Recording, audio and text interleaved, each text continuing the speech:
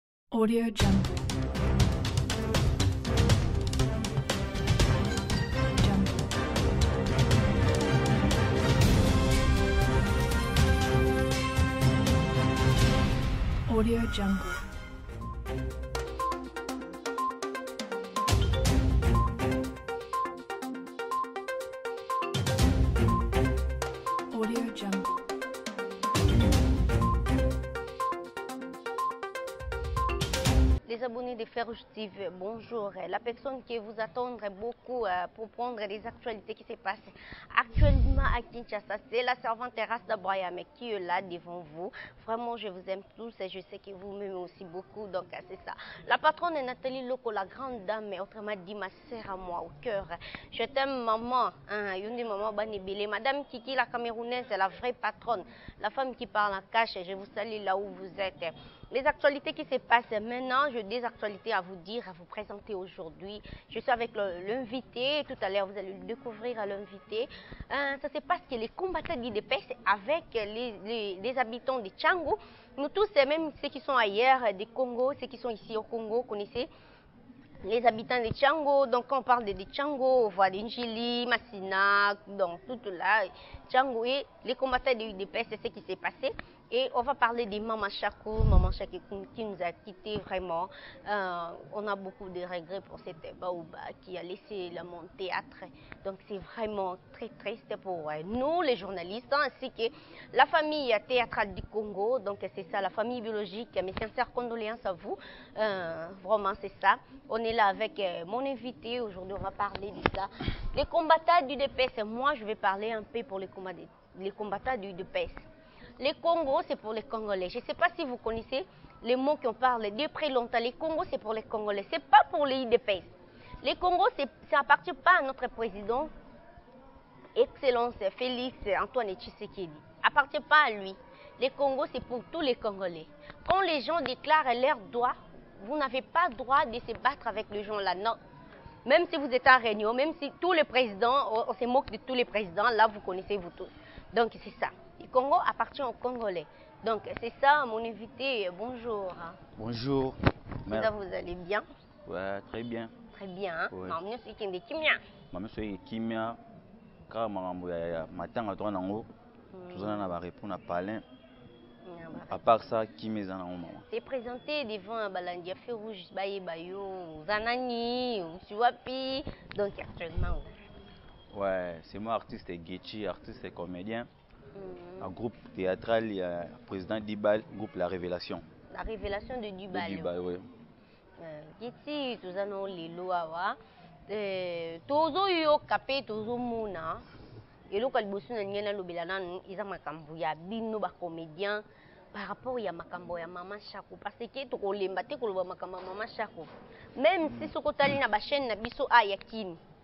Batu bazo leka ba maman ba maman na biso ba alinga ba maman eh, bipendo ba maman pembele bazo leka chaque jour na ba differentes émissions pour parler de maman Shako donc c'est ça tokolemba na biso te donc soki omoni bakomi makambo mama shako okotala kaka parce que banouvelle eza au jour par jour banouvelle ezobotama na makambo ya mama shako Donc c'est ça makambo ya mama shako tozoyoka kuna mama euh, mpela akataki banderole qu'est-ce qui se passe bon mpo na mama mpela tokozwaka mpe bainformation nyonso te oyo ekomela biso na matoi hmm. mosusu yaka ya bien mosusu yaka ya lokuta hmm. neti mpo na mama epela mama epela mpo na ngai na mama epela kozali na raison parce que nde toyebeli mama mama na biso shako Au to tika biso molimo nepe na kima na kimia bakosalela ye banderole ya ya tisi te ya tisi ezanga foto bon ata ata batina bango foto mais kozala tisi te neti toyebeli ba mama shako hmm. donc faut basalela ye banderole ya kapo banderole yango banani basalaki yango Eza groupe nini esalaki soit ba theatre nionso basalaki ba neurones comment là on comprend. Bon neti nga na yokaki na yebi te soki eza ya groupe ya groupe sans souci so pe mm. famille mutu esalaki so organisaki basala ba neurones. Moi na yebi ke eza ya groupe sans souci. Bon neti pona nga pona soki eza pona groupe sans souci na regrette nango makasi pona na nde na yebeli mama Shako. Mm. Mama Shako a travailler mingi na groupe sans souci wana. Mm. A travailler mingi na ba president na biso sans souci batika biso kala donc nde toyebi mama shako bako salela ye banderole ya tisi te eza malamu te. Sikoyo mama epela est ce que aza na droit ya kosala acte bongo pona ye alingaki nini donc c'est ça.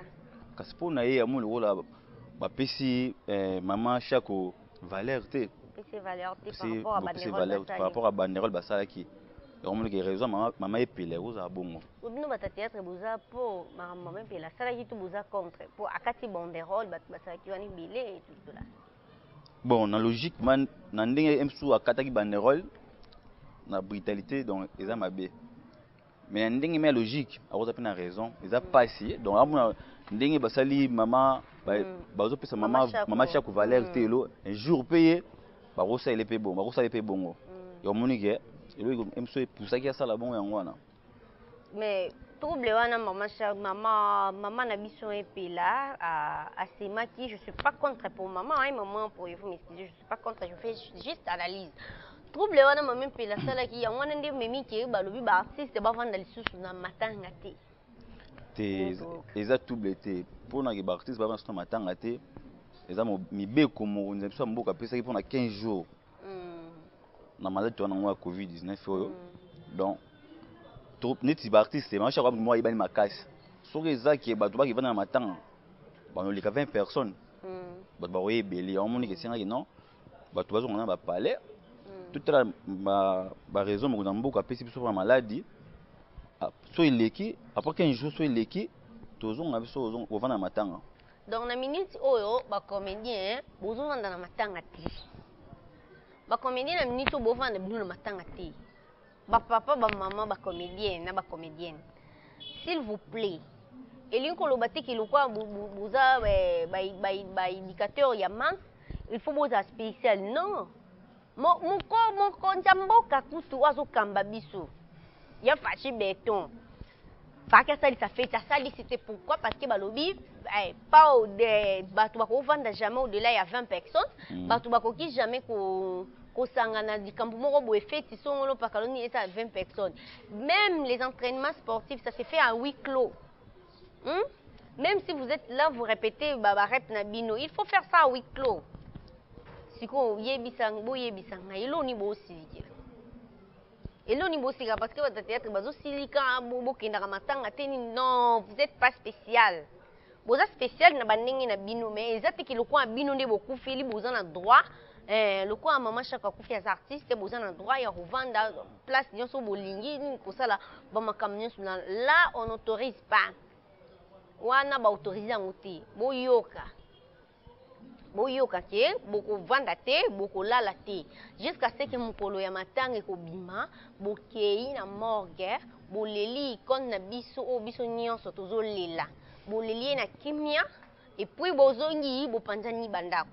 S'il se fait que le jour esali ke, euh, dejà ba, ba ba ba ba, de, ba, ba annonce que couvre feu eh, esili wana bokomi kolala soki mpe baannonce ke bapréoccupation wana baprécoption oyo président pesaki eza lisusu te tokomi le 30 parce que je, je connais que le 30 non oui, le 30, eh. le 30 soki tokomi oui. le 30 esali ke matanga ebimi après le 30 wana vous avez Beaucoup ya ba ya ba nini na- ya raison na bino oyo bino bokoki ko cumule na na matanga ya kolala ya kosala ce que vous faites là parce que les nuits mortuaires n'existe plus depuis qu'on a les couvre feu les nuits mortuaires n'existe plus mais bino bokendaka bosala nuit mortuaire pa ba mama shako nayokaki comédien mosusu apesi euh, apesi agrement na ye alobi ke famille ya mama shako nano eleki 20 personnes on ne parle pas de la famille La famille c'est une autre chose. La famille on reste même maison.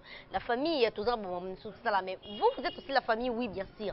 Mais bon zo wuta partout par ci par là. Omoni to mi batela. Lelo maman chaque fois akufi. Lobi to kolinga te to perdre pe maman pela to kolinga te to perdre maman pembele to kolinga te to perdre euh, maman euh, bipendo to kolinga te to perdre maman linga. Donc to mi batela pona malade. Le corona existe. Le corona existe nga nakoki ko encourager te que bosala mambo ya corona te tout tout la non le corona existe tomibatela ba vieilles mortuelles on ne part pas eza interdit banda kala soki babandaki kotika eza parce que euh, le gouvernement connaisse bien euh, poids oyo maman Shako azo peser oyo azo pesa na Congo Donc c'est ça yango bobandaki kotika batu bokende wana tout consort mais instant boko kokende esu te tellement gouvernement elobi eh, le président akweyisi totalela président alobaki na biso le 30 je ne pense pas que le 30 ekokoka avant matanga ebima matanga ekobima après le 30 et dernier jour nuit mortuelle ya, ya, ya mama shako nayebi ke bokolala wana bokozala wana ebele bokanga motema bosalela ba sagesse na bino ba façon na bino biso tolingelaka bino bo edikaka biso faut bozala ba exempleur faut bozala ba exemplaire donc so bino boza ba exempleur biso mpe ba oyo tolanda mposo tomoni batala theatre bokomoseme desordre bokotosa te Boye boloba pena bino ba boye dikaka biso siko biso tosani tosani na sima wana donc c'est en plus ça faut bozala ba exemplaire eh, eh, question na nga mosusu eza ya kosolola na yo mosusu eza boye mm -hmm. oyebi makambo eleka na tiango makambo eleka oza makambo euti oleka lobi nango no lobi lelo toa jeudi do mercredi na butu Oui, nayebi. Ezalaki butu to moi? Donc ezalaki na, na butu. Ah, na bapokwa. Na pokwa. Bakombata basali nini mpo batati yango? Bon, neti ngai nayoki na neti nako koyebisa bandeko na biso bakombata mm. de biso tozala na mboka mm. biso tozala na mboka donc mm. président Fatih Beton aza mpo na biso nyonso ah. atali te yo ke bakombata ke banani biso tozala biso bana bacongolais mm. Nayoki ke no ba bandeko na biso ya Tshangu ba mm. ba marchaki mpe mpo na mamba transport. Mm. Donc ba test ke na ndenge mokonzi ya mboka alobelaki biso mpo na mamba transport, transport ekomaki pasi. Yo amonaki mwa ko marcher mpo mokonzi ya mboka ayoka bango mposa na bango eza nini.